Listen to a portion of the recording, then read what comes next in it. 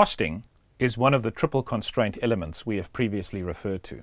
Typically, when we consider undertaking a DIY project, such as Janet's tiling project, we are usually limited to the amount of money that is available. As a result, we need to plan, manage, and control our project costs using a budget. This budget is a limitation or constraint.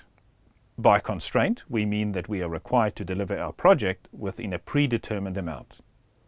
In order to prepare a budget, the first thing we need to do is estimate the various costs that will be incurred during the project to complete the identified project activities. In project management terminology, this exercise is referred to as developing a cost estimate, and the accuracy of this will in part depend on past experience in undertaking the same or similar type of projects.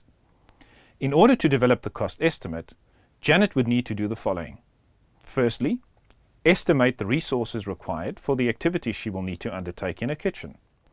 These may be quantities of materials, which in her case would be tiles and tile cement, equipment such as a tile cutter, supplies, and additional human resources. Hmm, would Ben help perhaps? After estimating resources, we would need to estimate the duration of each of these activities. Some may have an hourly, daily, or weekly rate for instance. Janet would need to hire the tile cutter for the duration of the project. Finally, Janet will need to prepare a cost estimate based on the best information available of the resources she identified and the cost of their supply.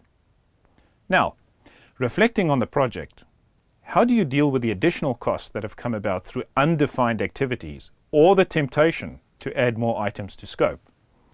Where a budget has been fixed, we would need to revisit the original scope and work breakdown structure to consider the proposed change addition and how it might impact on our schedule and whether it is achievable. If the scope change cannot be accommodated, we essentially have two options. We can seek additional budget support based on the impact of the cost estimate that the change addition will have. And if this is not possible, we would need to trade off by reducing scope on some of the existing activities in the original scope which is also referred to as de-scoping. This option usually results in a compromise of quality, and as a result is generally an unpopular choice.